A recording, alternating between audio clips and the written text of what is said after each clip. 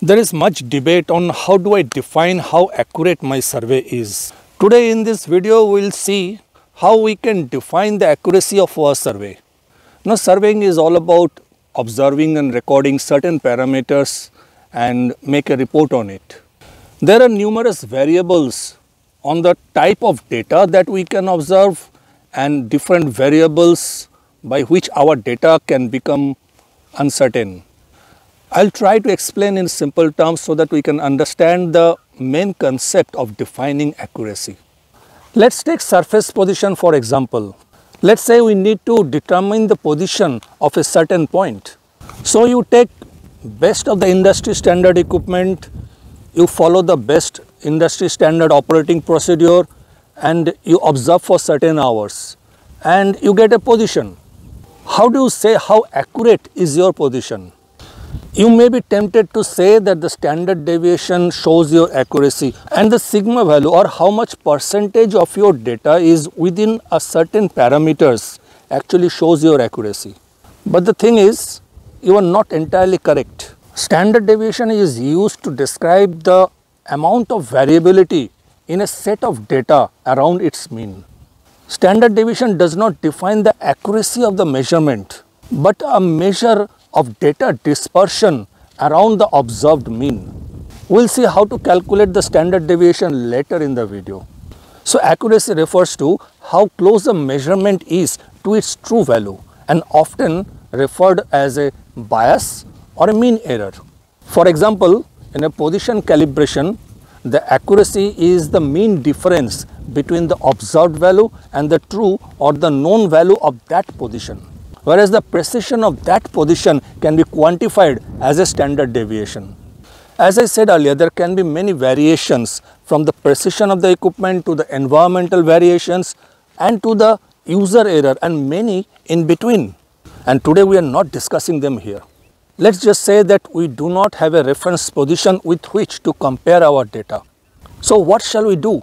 How can I say how accurate is my observed position in the absence of a reference position?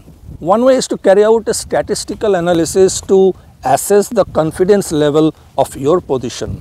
Let's say you have observed 100 sets of data and 76% of them falls within 1% of the mean value of the entire data and 96% of them falls within 2 meter of your observed mean data. Here you can say that the precision of your observation is 1 meter with 1 sigma confidence level or you can say the precision of your position is within plus minus 2 meter with 2 sigma confidence level. So this sigma level shows that how confident you are with your data and it shows the precision of your observation.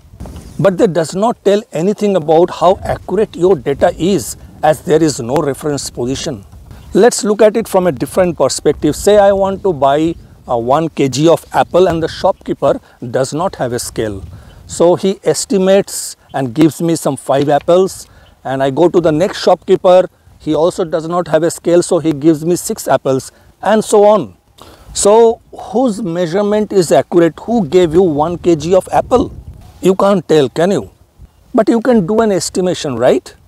Maybe depending on the sizes of the apples or the quantity of the apples the shopkeepers gave you. Was that a good analogy? Maybe I'll go back to the shopkeeper who gave me 6 apples. So how do you confirm an accurate as well as a precise measurement when there is no reference position available? As a surveyor, we have to face this dilemma every time we have to go out in the field and try to establish a new ground control point. Simple answer is repeatability.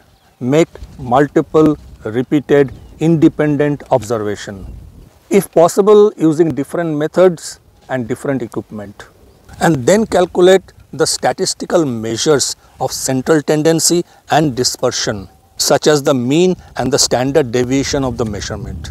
And then only you can provide a true estimation of the most likely position and the range of values within which the true position will lie.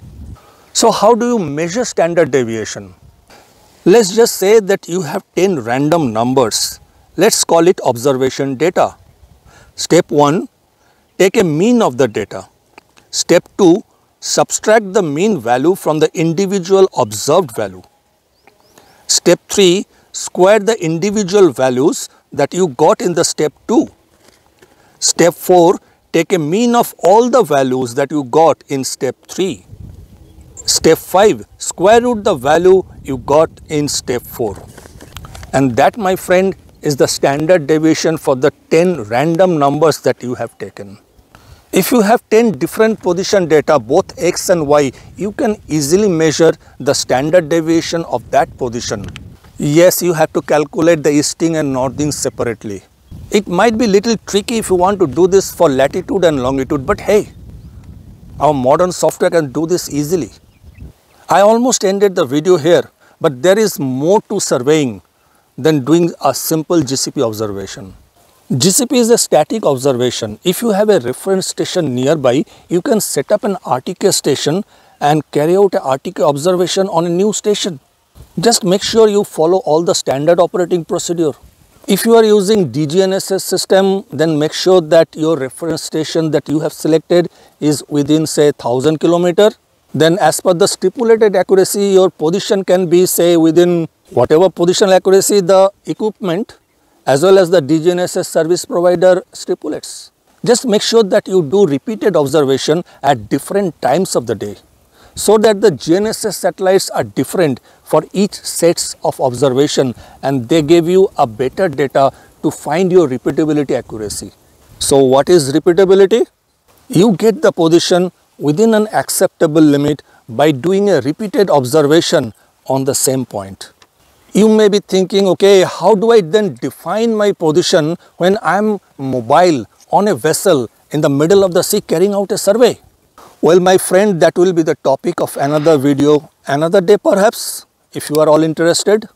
Please let me know if this video was helpful to you or if you are still concerned about accuracy and precision.